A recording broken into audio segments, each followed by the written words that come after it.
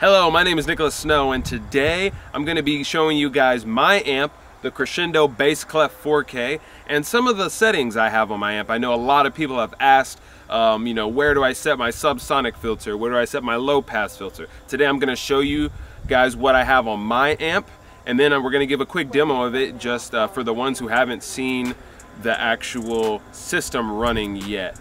Um, if you haven't seen, I do have some other videos kind of detailing why my subs are inverted um, and just what this system can do. But today we're gonna mainly focus on the amp and hopefully you stick around for the ride. Um, don't forget to subscribe. Um, I'm always uploading new videos, new content to my channel about this system and um, hope you enjoy.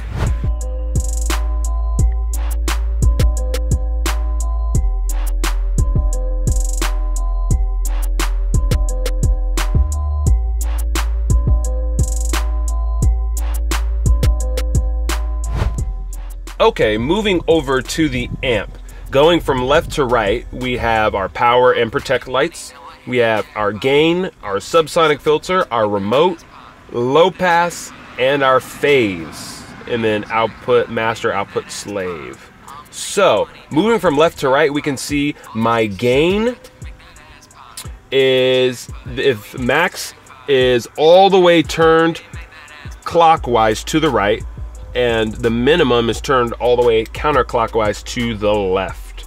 Um, we can see that I'm about three-fourths of the way up. Um, I don't like to go 100% max because you're gonna introduce some distortion into your amplifier. Uh, subsonic filter, I have mine set um, at about 31. Um, what the subsonic filter does is anything below the frequency you pick it will start to eliminate those noises at a 12 per dB octave. So um, it'll reduce how much power it puts towards those lower notes. So what a lot of people do and what I've done in my system is I set my subsonic filter equal to what my box is tuned to. So my box is tuned to 31 hertz. I have my subsonic filter at 31 or as close as I can. Um, so any frequencies lower than that 31 will be drastically reduced coming out of the amp, um, which is okay because my box isn't designed to play that low anyways. To the next, to the side of that, we have a remote. You can um, link two of these amps together. After that, we have our low pass filter. Um, that is meaning any frequency below the frequency you pick will be passed through the amp. So mine is set, I believe, to about 80. And that's generally what um, you want to cross over your subs at. Um, so anything above this 80 um, hertz will be eliminated um, and not come into the amp. Anything below it will be passed through. So it's allowing the low frequencies to pass through. That's why it's called a low pass. And finally, phase. Um, I have mine set to zero. That's if you had a configuration where you had one sub inverted and one sub not inverted. Um, you can phase them uh, zero or 180 degrees. Input, uh, slave, and master basically saying, is this the amp that is going to be controlling the other amp if you're using remote, or is it going to be uh, the one getting controlled? And that's basically all there is to that. So my amp settings are pretty standard across the board.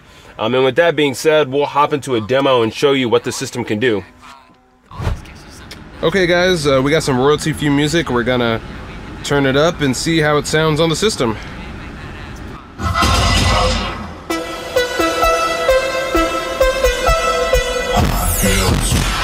red lips, rich cool chicks. They got a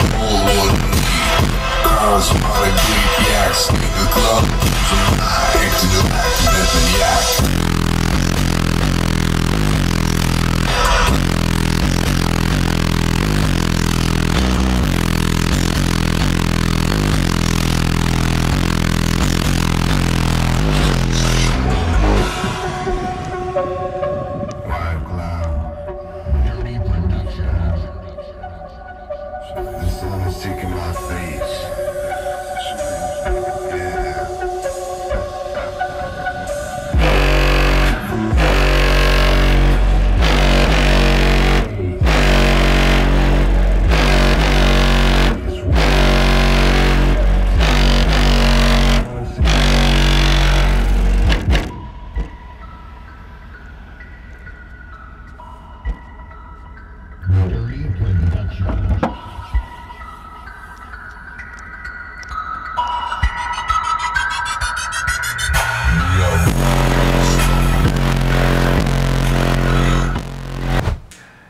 Want to thank you for watching the video and if you have any suggestions on what you would like me to do or um, anything you'd like me to record, uh, just drop them down below in the comment section and I'll be sure to add it in another video.